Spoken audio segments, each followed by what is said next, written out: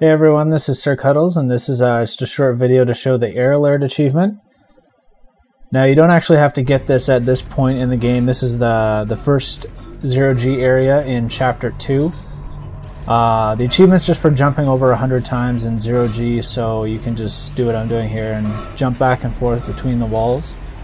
You don't need to do this. You can just wait. Uh, you'll naturally get it as you play the game easily so only do this if you want it sooner rather than later. And there it is right there. And that's it. All you got to do is uh, jump around.